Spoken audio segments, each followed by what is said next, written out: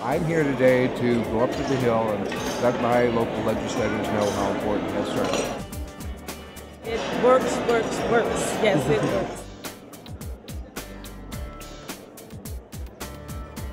My favorite thing about Head Start is that it gives preparation opportunity for success. Uh, thank him for his support and ask him to continue to support a Head Start in our efforts to serve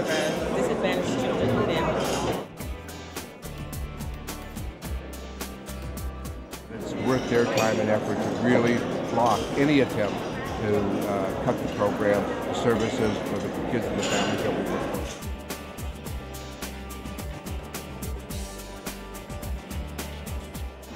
Head Start.